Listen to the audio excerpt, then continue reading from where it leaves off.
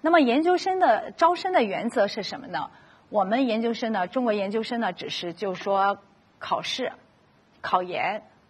之后呢，你要跟你的这个报考研究生院的这个教授呢取得联系，他对你认可，专业上认可，那么你就可以读他的研究生。但是在美国，这个研究生呢是非常公正的，没有任何教授可以去做一个偏差，说我通过我自己的私人的关系拿招生这个研究生，而且美国的教授都是终身教授，他不会做任何的舞弊。那他是怎么样来完成这个监督他的这个教育的招生呢？是公正性的。那么它主要三大这个决定因素就是我们在大学的。这个学习的这个成绩，就是你在中国的大一、大二、大三，我们要是申请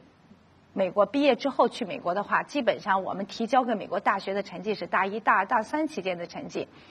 那么再一个呢，就是你在大学期间的一些做的一些研究啊，还有包括包括你的一些社会的实践活动啊。还包括和你和老师，你的你你自己所做的你的这个职业方面的相关的一些实习，比如说我们说这个会计课程，会计课程你学的话，你在什么会计事务所呀，或者是在银行啊，在这种相关的和你专业相似的这种企业或者是社会中，你自己做过一些这样的实习活动是非常重要的。接下来呢，就是你的英语能力。那么我们外国学生呢，国际学生呢，是会要求你需要有这种托福的这种语言考试的这种能力，这三个是非常重要的。呃，那么美国呢，它对大学的成绩呢是呃一定绝对是第一的。那么按照我们中国的成绩平均，如果是八十分以下的话，基本上你就很难将来去美国去读硕士。啊，为什么我们会这样说呢？啊，因为这是美国的硕士的最低要求，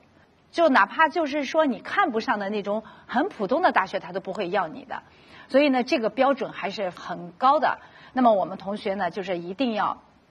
呃认真的去准备，因为我们大学里面的课程呢，大部分都是期末考试的时候突击一下，这样呢，你本来学的这个知识就不是那么扎实。再加上你的成绩要不好，那么我们在美国的时候，我们常常看到中国很好的大学的学生，就像什么清华、北大这样很好的学生也有，因为他大学期间的成绩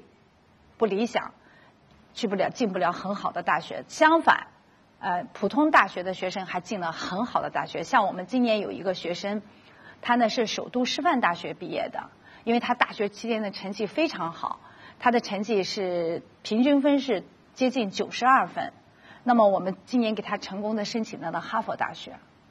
那么就说是美国并不看重是你是哪个学校毕业的，而是看你在大学大一大二，还有你这个专业这方面的成绩。那么这种公正呢，它每一个招生学院他会派出来五个教授。就说咱们说这五个教授叫 A B C D E 这五个教授，这五个教授呢，通通的每一个人都要把你的这个材料看一遍，看完 A 也说我同意，B 也说同意，这五个教授一致同意，那么他们会很快的给你发一个通知书。如果这五个教授里面其中有两个教授不同意，三个教授同意的话，他会把你放到 waiting list 里面。如果五个教授通通的一看你。什么都不好，那他也会很快的给你发一个拒信。我们学校很抱歉，我们学校不能接收你。那么你赶快去申请别的学校嘛，你不适合我们的学校。所以呢，就说这样的话，这种公正性呢是非常的啊高的，就很难有一个教授说我为了某一个学生，你不能把五个教授通通的都给他关系都搞定。那么我们在。